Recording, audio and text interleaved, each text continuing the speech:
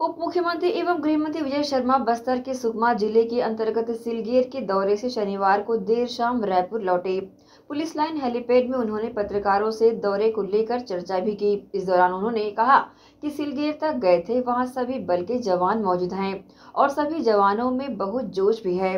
उप मुख्यमंत्री विजय शर्मा ने ये भी कहा कि भाजपा और विष्णु देव की सरकार का स्पष्ट मानना है और सरकार का लक्ष्य यही है कि नक्सलवाद जल्द खत्म हो सके।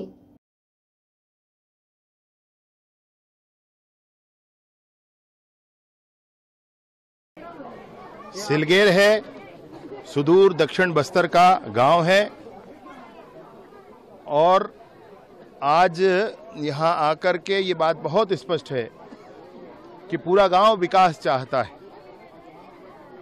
हमारे यहाँ का जो कैंप है, विकास का कैंप है। नियत नार ये योजना प्रारंभ की गई है। कैंप के आसपास सभी गाँवों में समस्त किस्म की सुविधाएँ सरकार मुहैया कराएगी।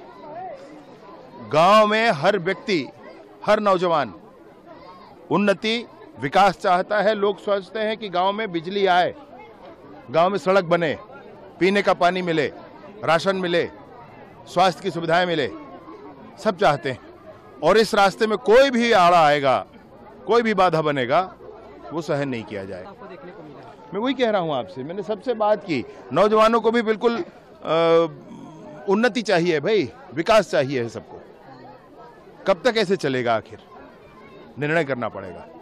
गजब का हौसला है भाई जवानों में, गजब का हौसला है। जहाँ कभी आना संभव नहीं हो पाता था, वहाँ अब विकास के कैंप लग रहे हैं। बस्तर बदल रहा है।